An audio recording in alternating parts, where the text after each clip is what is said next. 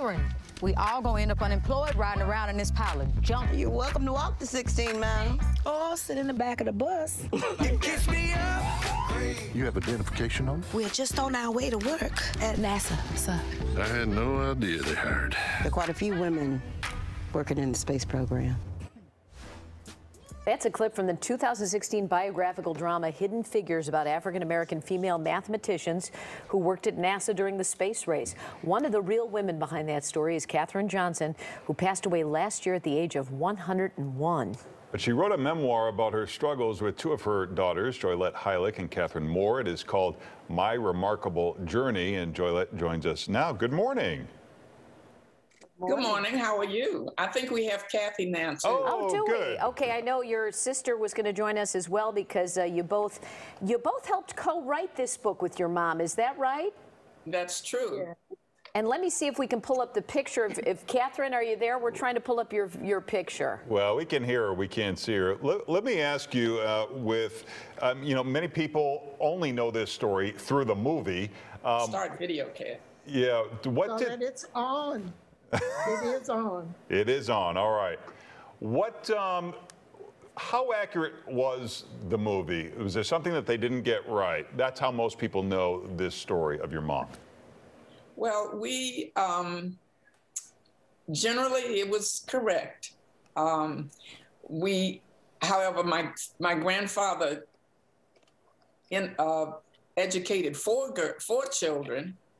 He was not able to drive, so that was a that was a stretch a bit because he had to rent a truck and a driver to move the family uh, back and forth for those eight years to um, to to go to school. So that was the biggest thing, and he did it on his own. He didn't get money from anyone else, um, and I think that probably is the biggest thing that we wanted to to have known.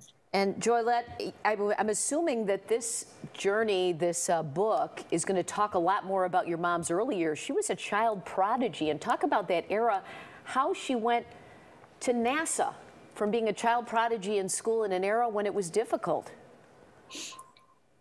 Well, she um, she I guess kept on her mind the fact that one of her professors said that she would be a research mathematician, and she always waited. She said, "Well, I will teach," and uh, really wasn't looking forward. She just said, "I'm sure it'll happen one day." So this is what she did, and um, then an opportunity was presented when they heard that. Uh, NASA was hiring black mathematicians, and she said, "Oh, that sounds interesting, uh, right down my alley." And she left teaching, and after a year, because when she first applied, the uh, quota had been set for the year, so she um, applied, and a year later was uh, employed Wow. Joy- by uh, Mrs. Uh, Mrs. Vaughan was her first teacher, Yeah. How- first, first supervisor. I'm sorry. we're seeing her with President Obama. How did she deal with the newfound fame after the movie? She just would roll her eyes and say, "I don't know what this is all about because I was just doing my job. I I, I, I can't get it." So she's a, a, always been a very humble person. She was always interested in teaching others, uh, helping others to know what she knew, helping others to catch up or not feel negative about math. And you're and the legacy is you're a mathematician yourself, are you not? Kind of, sort of, but not like my mother. I think we all say that when we compare ourselves to our mother. We always fall a little bit short, right? Well, Right, it's right. it's a wonderful uh, story. The book is called My Remarkable Journey. Thank you for being with us. Your mom was a remarkable woman. Thank you.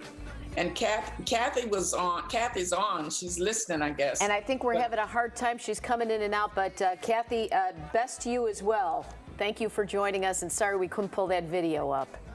well, Thank thank, you. you. so much, and thanks for showing her book. And I hope people will read it because it really, really is an interesting story. That's not glitter. It's just down to earth and as honest as the three of us could Right. make it. And just inspiring. Thank you both for being with us. It was.